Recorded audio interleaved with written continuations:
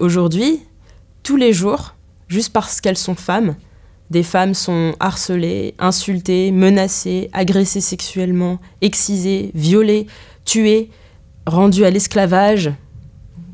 Malheureusement, les hommes sexistes, c'est pas seulement des inconnus dans la rue, c'est aussi des hommes qui se retrouvent dans absolument toutes les couches de la société.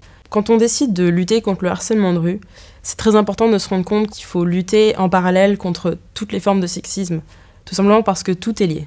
Donc le harcèlement de rue, c'est aussi lutter contre le harcèlement au travail, c'est aussi lutter contre les violences conjugales, c'est aussi lutter contre les stéréotypes dès l'enfance. De manière générale, dans la société, on n'a pas encore atteint la tolérance zéro envers le, sexisme, et c'est pour ça aussi qu'on est encore trop laxiste et qu'on laisse encore passer trop d'agressions, de harcèlement, et c'est aussi pour ça que obtenir justice est si difficile. Typiquement, je pense que mon agression, elle n'aurait pas fait autant de bruit avant MeToo.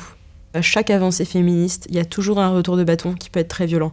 La clé pour se battre contre euh, le sexisme, c'est l'éducation. Donc il faut vraiment commencer dès le plus jeune âge. L'éducation dès les petites classes, sensibiliser, c'est très très important. Évidemment aussi euh, la formation des professionnels et la sensibilisation dans l'espace public aussi. Il faut combattre ces inégalités main dans la main, il n'y a pas le choix. L'égalité, elle se fera pas si elle ne se fait pas dans le monde entier.